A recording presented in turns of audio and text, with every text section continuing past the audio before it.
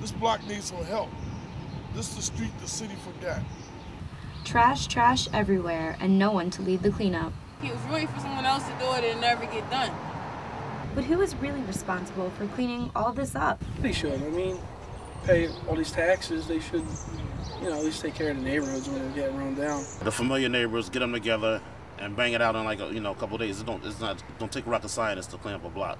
The city of Philadelphia agrees with him. According to the Philadelphia Streets and Sanitation website, cleaning of alleys and driveways is the sole responsibility of the property owner. I clean up after I come out of my house almost every day picking up stuff.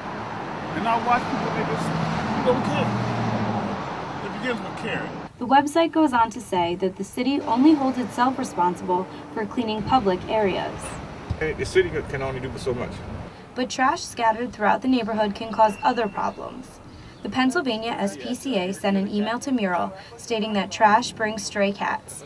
They can be a danger to you or your pets, and they can also use your property as a litter box or even a place to nest. I like cats, so they're all over the place around here. Like, it's crazy. It's like we're in a, our own little jungle or something. Like little lions and tigers running around having babies and stuff. The debris didn't get here unless we purchased the stuff and put it on the ground. The trash and the strays have not gone unnoticed by the city. The largest cleanup in Philadelphia history is scheduled for this Saturday, April 5th, in order to help neighborhoods like Hartranft to clean up their acts. To get involved, visit phillycleanup.com. From Mural, I'm Amanda Reyes.